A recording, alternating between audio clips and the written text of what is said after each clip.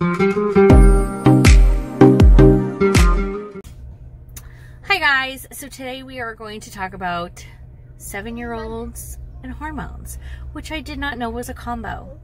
So this past, I want to say at least a week, probably maybe a little bit more, Jeffrey, who is our oldest, he is going to be seven in May, so in a couple months, has been extremely emotional. Like to the point that stuff is making him just sob uncontrollably. And it's not things that should be. Like the other day, he was carrying a board game into his room and he must have been holding like the lid and not the base, you know, the bottom.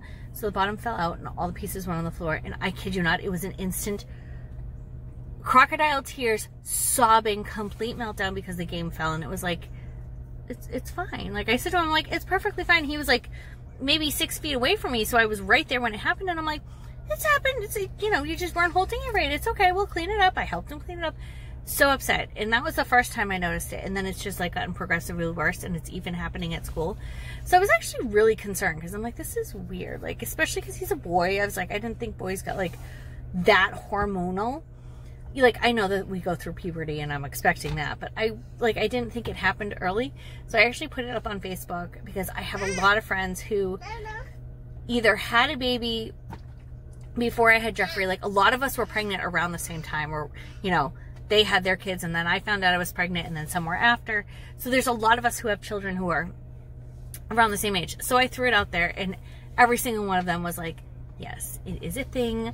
Apparently it's once you're like out of that toddler preschool age, you're now into this child and it's for some reason we get massive hormones and it is horrible. And I was, oh my goodness, it's even affecting him at school, which is so, I feel so bad because Jeffrey, oh, what's the matter?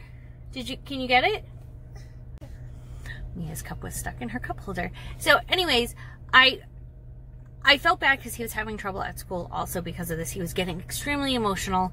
And if you guys do not know, Jeffrey has autism. So he has struggles of his own. He has been doing fantastic. And that's why it kind of was shocking me that he's been having trouble. And he was even having the, um, he was having some issues even before he started getting emotional. I noticed we were having a little downward spiral a little bit and I wasn't sure what it was and now I think it was this coming on like it that's where it started so I feel bad because he's been working so hard at school that now it's like we're taking three steps back which I know happens with kids with autism but it's so frustrating because he's been working so so hard but yeah no one ever told me that there was seven year old hormones and let me tell you they're mess we were talking this morning on the way to school um, I was asking Jeffrey a question and he started telling me about it. And then I asked a follow up question because I was a little confused.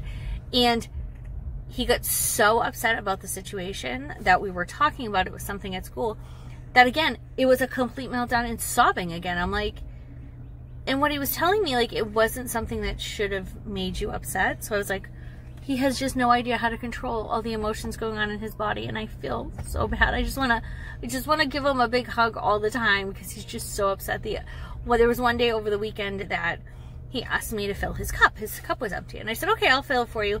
And then Mia had a massive diarrhea. So it was like uh that was funny. So it was ended up like and, and I had to change her cuz it was you needed an assistant. So we cleaned her up. Excuse me and then I like washed my hands and then I think something else happened. So I started taking care of that. And then I completely forgot about Jeffrey's water. Now, mind you, this had maybe only been five minutes tops since the first time he asked me. He literally came over to me sobbing again, going, you forgot my water. I was like, oh my, like I fell hard. I was like, I'm so sorry, but I'm like, it's okay. It's not worth crying over. Like I was trying to reassure him that it's okay. You know, you saw that, you know, mommy and daddy were taking care of Mia and I'm like, I totally forgot. It's okay. All you needed to do was just ask me again. We didn't have to, you know, melt. But I just feel so bad. And I wish I could just take it away from him. And I'm like, if this is a preview of what teenagers are going to be like in my house, I, I kind of like, just don't want to deal with it now. like it's, oh, it's so, I feel so bad for the little guy.